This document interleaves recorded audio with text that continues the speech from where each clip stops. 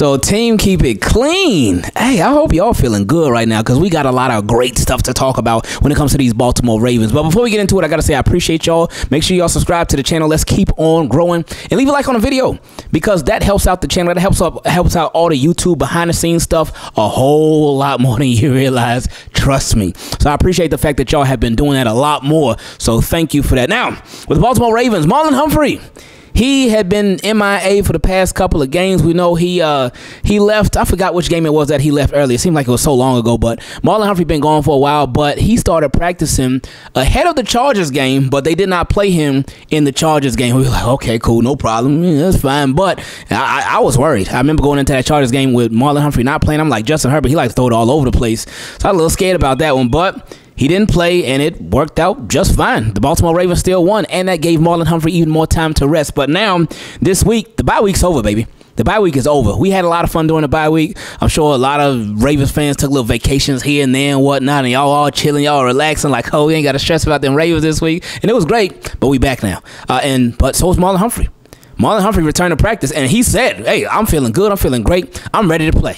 So Marlon Humphrey, we will need you against Puka Nacua, against uh, Cooper Kupp, against them Rams, because they gonna bring it. They gonna bring it. They feeling real good right now. Uh, every time they had uh, Puka Nacua and Cooper Kupp in the lineup, they three and zero. They three and zero. Both of them in the lineup. So Marlon can help the Ravens make that three and one. Hopefully, let's see what happens Sunday. But anyway, uh, Madubuike. Madubuike, who left the last game and he had like concussion like symptoms and whatnot, uh, he was practicing as well. He was limited as a participant, but he was practicing. And the fact that he is practicing so early in the week, that is a great sign for the game coming up uh, this week against the Rams and Justin Madubuike's availability because I'm sure Justin Madubuike is going to want to show his his mentor, Mr. Aaron Donald, like, hey, you done taught me some stuff, and I'm I learned that stuff, and I'm showing that I can do that stuff now. I'm coming for you, Aaron Donald. So, hey, Justin Madubuike, you on your way, baby. You are on your way. Now you on your way to get paid for sure. But maybe if you continue this, you could be on your way to being one of the best interior defensive linemen in the league. Keep it up, baby. Anyway, uh, continuing. Trent Simpson, who had missed the last couple of games with concussion.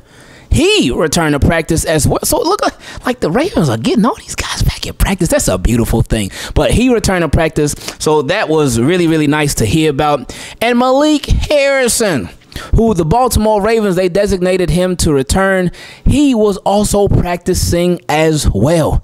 So again, Ravens like remember when Lamar said, "Hey, we don't want to peak too early." He was talking about playing on a football field, but this I'm gonna apply to not peaking too early to the injuries and to the health. They don't want to be too healthy too early. So Ravens are still they getting all these guys back still, and hey, it's gonna get a little bit. It's gonna get even better a little bit later. We're gonna get into it in a little bit though. Um, now John Harbaugh he said he John, John Harbaugh said this like he ain't had to bring this up. He ain't had to talk about it, but he did. He said that he isn't planning on Ar'Darius Washington returning this year, but he's not 100% sure yet. Now that's crazy. That's crazy. Like I, I wrote Ar'Darius Washington off. I thought he was done for the year for sure. And Harbaugh is not saying that he's necessarily coming back, but I remember they had not given us anything with Ar'Darius Washington for sure. They had not said that he's done for the year. He did have surgery early this year, but they had not officially said, "Oh no, Ar'Darius Washington is done for the year." Every time they talked about Ar'Darius Washington, they said that he had the surgery. Uh, and he would be out for a while, but they did not say that he would be out for the year. So uh, just imagine, like, think about this. Pepe Williams, he was practicing too. Remember, he he was out from since the beginning of the year. So Ravens are getting a lot of people back in the secondary, man. And for a secondary, it's been playing playing pretty good to be even health. Ooh, everything lining up. I'm, trying to tell you, everything lining up, man. Anyway, continuing. Um, now while the we did get a lot of people back at practice, and then there was some nice news on our Ar'Darius Washington. I mean, it was not necessarily promising, but it, it, was a nice little positive update on Ar'Darius Washington, telling us that there's a chance. Uh, with Rashod Bateman, he did not practice. Um, and I was thinking, oh, is it his back again? But they said it was just an illness. So maybe he went away on a bye week or something. I don't know where he was at. And maybe he got, he got a little sick or whatnot. But it's okay because I, would expect all day. I'm, I'm tripping. I'm saying all day watch. I would expect Rashod Bateman to be back in the building tomorrow. I don't know nobody though. That's just me. That's just a hunch. That's it. But if he got an illness, let him get some Emergen-C or something. Let him take some some some black seed oil or something like that. Maybe some sea moss, whatever get well soon, Rashod Bateman.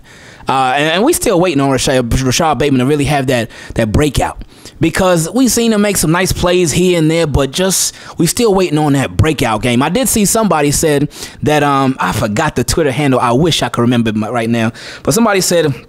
I'm not. They tweeted this back in October. They said I ain't tweeting again until Rashod Bateman get a hundred yard game. they ain't tweeted since. So it's time, Rashod Bateman, Lamar Jackson, Todd Monken, it's time to let my guy tweet again. Please bring his account back. Now, uh, Lamar Jackson, he had made a statement in a presser where he talked about, uh, and I really appreciated it. He said he talked about how every game it felt like a playoff game. And I mean, obviously not playoff time yet, but I mean, it kind of is. Uh, and it's best to really start getting ready and getting prepared uh, in, for the playoffs because they're right around the corner, like literally right around the corner. Something that I was thinking about too. Um, the the Ravens are going to be playing the Jaguars. We'll see what happens with them. With everything depends on Trevor Lawrence, but they're going to be playing the Dolphins, and and then the Steelers too. So I was thinking like Ravens could end up playing one, maybe some of these teams again in the future. Now, my hope is that because the, the, Ravens are going to play the 49ers on December 25th, Monday Night Football. The world will be watching. Um, that could also be a potential rematch in the playoffs, and y'all know how that will be a potential rematch in the playoffs. So, Ravens, like, it, it, you got to be ready, man. Stay ready so you ain't got to get ready. And if you got to play a team again for the second time, then that means you will need to be extra and over prepared. Uh, but it ain't no such thing as being over prepared. So we'll see how that thing shakes out. Now, speaking of the 49ers, uh, remember that guy Zach Ertz? Been pretty quiet on Zach Ertz, so I, I guess he's been sitting back waiting and watching. I think he really just wanted to see the Ravens play. That, that's what I think. I think Zach Ertz just like, you know what? I'm going to chill for a little minute. I, I want to see what these Ravens look like because I ain't seen them in a while. They want a bye week when I got released and whatnot. I want to see how they looking because he saw how Philly was looking. He was like, I don't think I want to go back there. And But now uh, they said that the 49ers – 49ers are interested in Zach Ertz. And one thing I really respect and admire about the 49ers is that they have been a strong team for years, but they continue. They always looking for ways to get even stronger. They just added Chase Young. They always adding people. They always trying to get even better. And I, I love that about the 49ers. They do not stop no matter what. Um, so we'll see what happens with Zach Ertz. Um, we haven't heard of him making any visits to anybody yet, going anywhere yet. Um, now, one thing that was interesting, and, I don't know if y'all caught this too. Uh, John Harbaugh had a presser. I think it was on Monday. He had a presser, and in that presser, uh, they asked about his. That I mean, the Baltimore Ravens' interest in Zach Ertz, and John Harbaugh said the famous saying, "We like our guys. We like our guys." And when he said that, I was like, oh, Zach Ertz must be at BWI right now. Because we know we don't heard the Ravens say we like our guys before. And we know you know what happens when they say we like our guys? They still end up adding another guy at whatever position they talk about. I remember the the, the most recent, uh, well, maybe not even the most recent, but one of the biggest times we heard that was a couple years ago when it came to the wide receivers. They said, we like our guys. We're insulted that you all think we should add a receiver. We're insulted. We like our guys. What they do? drafted a receiver in the first round. so yeah. And they signed one in free agency too. So anytime Ravens say we like our guys, yeah, they don't really like that guy. Well, not that they don't like that guys, but you get what I'm saying, man. Um, now, something that it almost seemed like it was a little bit of petty from the Ravens, but I, know it wasn't petty. It was, it was more so respect. Um, Odell Beckham Jr. He will be a captain uh, this week against the Rams, his former team.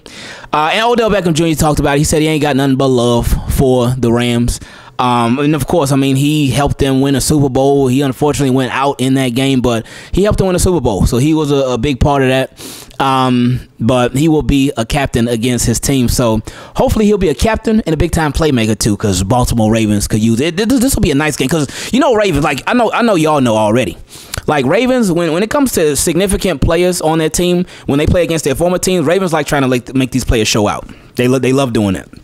Like when a player that used to play, when Ravens go up, up against a team a player used to play for, the Ravens they try their best to help that player show out. So I would expect Odell Beckham Jr. If you're a fantasy person, I would start Odell Beckham. Or I'm start him. I might put him in the flex or something like that. But I, I, think that this could be a big game for Odell Beckham Jr. Not because this is just a, an emotional game either. No, but I really think the Ravens they gonna try like heavy. But we'll see. Um, also, little bonus: the Pro Bowl voting But again, we ain't, we ain't worried about no Pro Bowl. Like, get Ravens players get them votes, but we got other bowls to take care about to to, to, to take care of. Excuse me. Uh, Kevin Zeitler, he's the leading vote getter against the amongst the guards in AFC. Roquan Smith, he's the leader in inside linebacker, and Kyle Hamilton and Geno Stone, they the leaders at the safety position, at strong safety position. So that's a beautiful thing to see, especially for Geno Stone and for Kyle Hamilton being a second year player.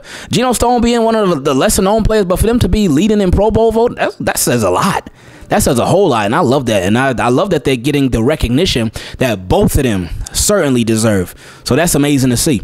Um, and then the Ravens will be wearing purple on purple uh, this week against those Rams. So a little fashion update for anybody that might be going to the game, or even if you're not going to the game, you just want to dress like the Ravens. Wear your purple jersey and wear some purple pants too, and then you could fit right in like the rest of the Baltimore Ravens. Team, keep it clean. I love y'all so much. I really do. Uh, make sure you subscribe to the channel. Again, let's keep this thing moving. We've been having a very fun season. And we still got a little bit of season left. Then we got them playoffs, then the Super Bowl right around the corner, and we will be with you every single step of the way. Team, keep it clean. I appreciate and love y'all so much. We out.